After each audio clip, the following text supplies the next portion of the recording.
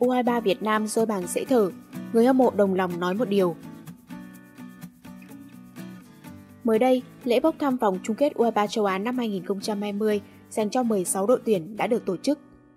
16 đội tuyển tham dự vòng chung kết U23 châu Á được chia làm 4 nhóm hạt giống.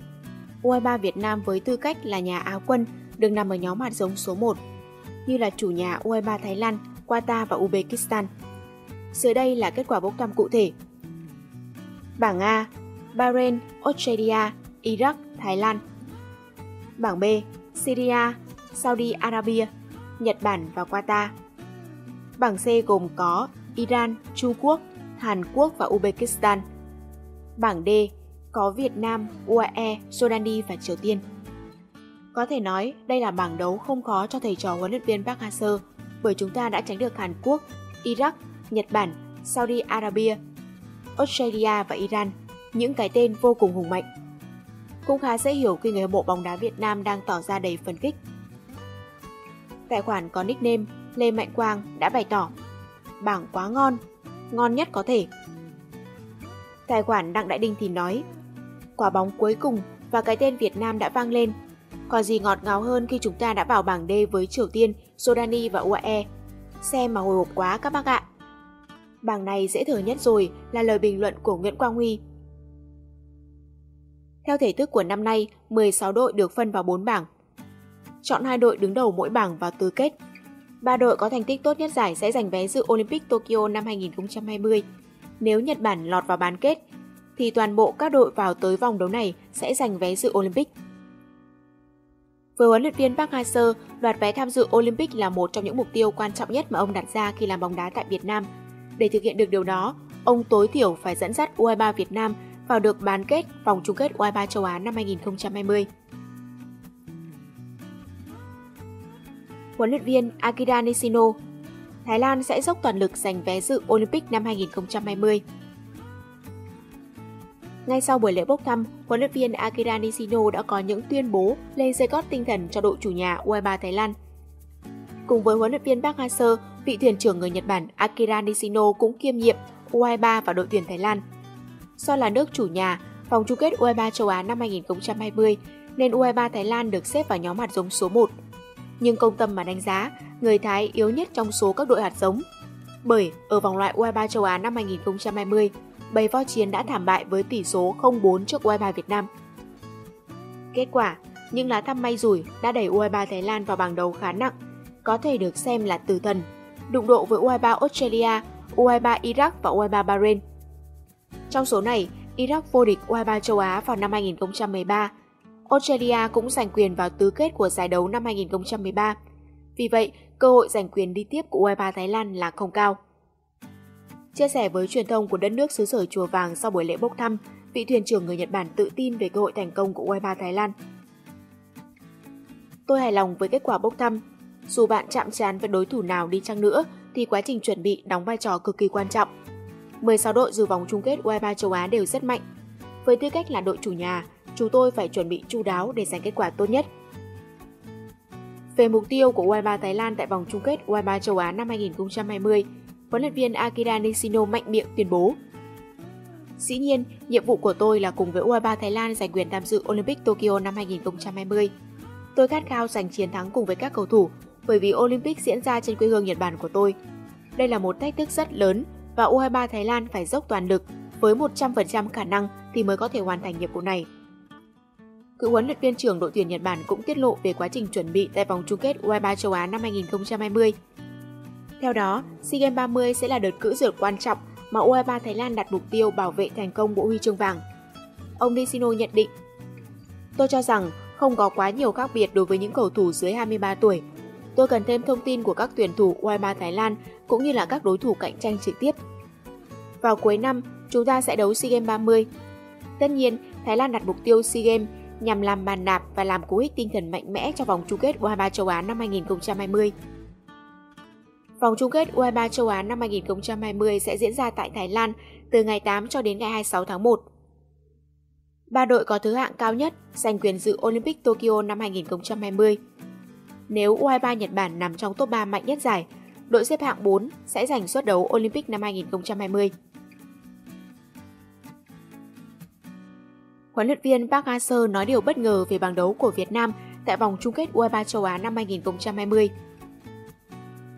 Theo như kết quả tại buổi lễ bốc thăm vòng chung kết U23 châu Á năm 2020, U23 Việt Nam rơi vào bảng đấu gồm với các đối thủ U23 Triều Tiên, U23 Jordani và U23 UAE ở bảng D. Đánh giá về bảng đấu này, huấn luyện viên Park Hang-seo cho biết, hiện tại Việt Nam đã rơi vào bảng D cùng với Triều Tiên, Jordani và UAE. Tại giải đấu ở Thường Châu, Trung Quốc, Việt Nam được xếp vào nhóm hạt giống thứ tư, nhưng ở giải này, chúng ta ở nhóm hạt giống số 1. Dù chúng ta đang là Á quân, nhưng tôi cho rằng các đội tham dự vòng chung kết ngoại trừ Thái Lan tự động vào vòng trong thì các đội khác về mặt chiến thuật, chiến lược đều rất mạnh. Dù ở vòng loại, chúng ta đã toàn thắng, nhưng các đội tham dự vòng chung kết khác hoàn toàn so với các đội vòng bảng. Huấn luyện viên Park Hang-seo nhấn mạnh. Trước nhiều ý kiến cho rằng U23 Việt Nam đã thực sự may mắn, nhưng huấn luyện viên Park Hang-seo lại khẳng định ông không tin vào khái niệm này. Thực ra tôi không tin vào khái niệm dấu hiệu của vận may. Chúng ta nỗ lực thì vận may sẽ đến, và tôi tin tưởng vào điều đó. Huấn luyện viên Park Hang-seo nói. Bên cạnh đó, vị chiến lược gia người Hàn Quốc cũng từng chia sẻ rằng U23 Việt Nam rất may khi không nằm cùng bảng với U23 Hàn Quốc. Lý do được huấn luyện viên Park Hang-seo đưa ra là Nói gì thì nói, Hàn Quốc cũng là quê hương của tôi nên tôi cảm thấy có chút áp lực. Không phải là chúng ta sợ khi nằm cùng nhóm với U23 Hàn Quốc, mà là việc phóng viên Hàn Quốc rất nhiều. Họ nhiều lắm, hỏi nhiều phát mệt. Cuối cùng thì vị chiến lược gia người Hàn Quốc khẳng định vòng chung kết U23 châu Á tổ chức tại Thái Lan sẽ diễn ra vào năm sau, năm 2020. Còn trước mắt, ông cùng với các cầu thủ cần phải tập trung cho hai mục tiêu lớn là vòng loại World Cup và SEA Games năm 2019. Bởi vì lứa cầu thủ tham dự SEA Games cuối năm nay sẽ là thành phần cho vòng chung kết U23 châu Á năm 2020. Huấn luyện viên Park Hang-seo cho rằng nếu các cầu thủ không gặp phải chấn thương nào thì đội sẽ có thể tiếp tục tăng cường sức mạnh. Theo lịch công bố của ban tổ chức, vòng chung kết U23 châu Á năm 2020 sẽ diễn ra từ ngày mùng 8 tháng 1 cho đến ngày 26 tháng 2 năm 2020. Các trận đấu sẽ được tổ chức tại 4 sân vận động, bao gồm Trang Arena Buriram, sân vận động của Bangkok, sân vận động Thammasat và sân vận động Songkhla ở Thái Lan. Chia tay Hoàng Thịnh, hàng tiền vệ đội tuyển Việt Nam lấy gì chống đỡ sức mạnh của Malaysia? Chiều qua ngày 26 tháng 9, huấn luyện viên Park Hang-seo đã quyết định gạch tên Ngô Hoàng Thịnh khỏi danh sách đội tuyển Việt Nam vì một lý do bất khả kháng. Huấn luyện viên Park Hang-seo đang cùng với đội tuyển Việt Nam chuẩn bị tích cực cho trận đấu với đội tuyển Malaysia diễn ra vào ngày 10 tháng 10 tới đây. Vị chiến lược gia người Hàn Quốc quyết định triệu tập 33 cái tên cho đợt tập trung này và tạo cơ hội cho 8 tân binh. Tuy nhiên, một trong số những tân binh là Ngô Hoàng Tịnh lại gặp phải vật đen khi bất ngờ bị đau mắt trước ngày lên tuyển. Anh cũng đã nán lại chữa trị và tập trung trễ cùng với các đồng đội ở Hà Nội ngày 25 tháng 9.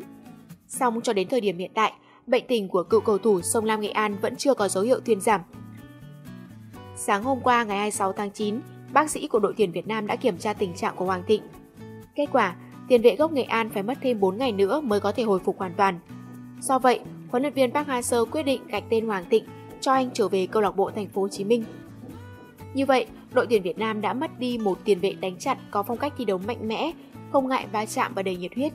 Đây được xem là mối lo dành cho huấn luyện viên Park Hang-seo khi cả hai đối thủ Malaysia và Indonesia đều dựa trên lối chơi tốc độ, sức mạnh và muốn làm chủ trận đấu từ việc bố trí những tiền vệ chơi rắn và quyết liệt. Mới đây, huấn luyện viên Tang Cheng Hue của đội tuyển Malaysia đã khẳng định đội tuyển Malaysia cần cải thiện sức mạnh nơi hàng tiền vệ. Chúng tôi biết đội tuyển Việt Nam là một đội bóng mạnh, đặc biệt là trong khâu phòng ngự. Bởi vậy, chúng tôi cần thêm người để trợ giúp nơi tuyến giữa và gây áp lực lên hàng thủ của đối phương. Như vậy, vắng Hoàng Thịnh sẽ là một mất mát rất lớn đối với đội tuyển Việt Nam. Song, trong tay của huấn luyện viên Park Hang-seo vẫn còn đó những nhân tố đủ khả năng để hạn chế sức mạnh của hàng tiền vệ đội tuyển Malaysia. Có thể kể đến Phạm Đức Huy, Đỗ Hùng Dũng hay thậm chí là Nguyễn Tuấn Anh. Phạm Đức Huy là một tiền vệ đánh chặn có khả năng hỗ trợ phòng ngự rất tốt. Anh cũng từng để lại dấu ấn ở trận đấu với chính Malaysia ở trận chung kết lượt đi AFF Cup 2018.